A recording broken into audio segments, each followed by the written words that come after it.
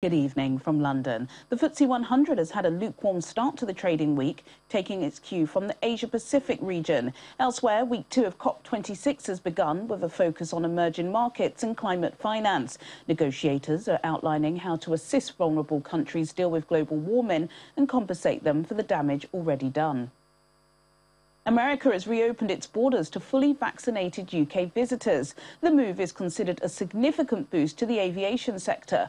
According to travel data firm Cirium, a total of 3,688 flights are scheduled to operate between the countries this month. This is up 21% compared with last month, but remains 50% lower than the pre-pandemic levels of November 2019.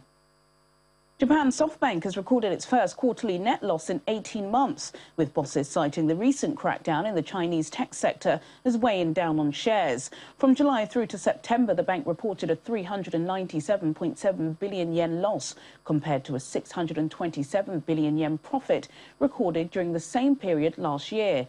Investments in the US chip company ARM and ride-hailing service Uber are faring relatively well. Among other major investments, SoftBank said it lost 1.21 trillion yen in its stake in the South Korean e-commerce firm Coupang. India's digital payment startup Paytm has launched the country's biggest IPO with a target of $2.46 billion.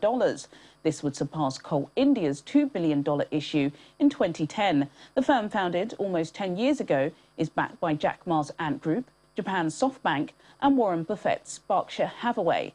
According to a regulatory filing in July, the platform has over 114 million active users, and the group undertook transactions worth more than $54 billion in the 2020-21 financial year.